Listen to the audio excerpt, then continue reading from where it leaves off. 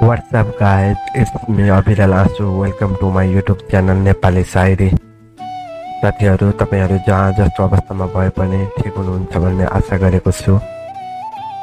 आज हामी एउटा छुट्टै विषयवस्तु लिएर उपस्थित भइसकेका छौँ। तपाईँ यदि हाम्रो च्यानलमा नयाँ हुनुहुन्छ भने साइडमा रहेको रातो बटन सब्सक्राइबलाई दबाई नोटिफिकेसन अल गर्नुहोला।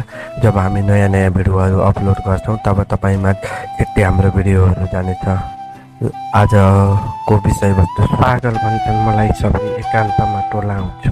पागल भन्छन् मलाई सबै एकान्तमा टोलाउँछु। हाँसो रुन्छु पागल गरी तिम्रो नाममा बोलाउँछु।